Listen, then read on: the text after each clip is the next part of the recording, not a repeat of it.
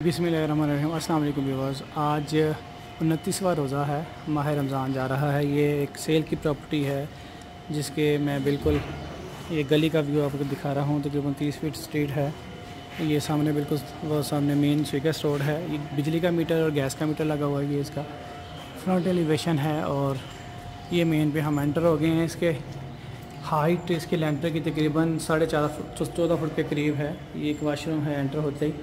इसमें मोडिफिकेशन की ऑप्शन मौजूद है। ये ओपन किचन है इसका और ये इसका आ, आप इसे टीवी लॉन्च कर लें या सहन कह लें। ये एक मास्टर बेडरूम है और हाइट आप देख रहे हैं इसकी काफ़ी तकरीबन साढ़े चौदह पंद्रह फुट के करीब इसकी लेंटर की हाइट है। अगर इसको आप उठाना चाहें तो बिल्कुल उठा भी सके हैं। नीचे से ये हम इसके फ़र्स्ट फ्लोर की तरफ़ जा रहे हैं। ये ढाई स्टोरी घर है।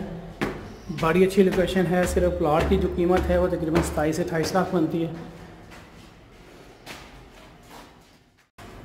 ये टीवी लॉन्च है इसका फ़र्स्ट फ्लोर पे। एक बेडरूम अटैच वाशरूम इसी तरह से ये सेकंड बेडरूम है। ये बेडरूम है जी। ऊपर स्टोर है ये इसका। टेरेस है।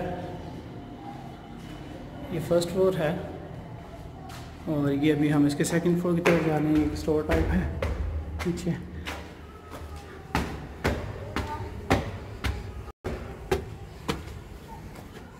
ये कमरा एक तीसरी मंजिल पर है, ये इसकी वेंटिलेशन है।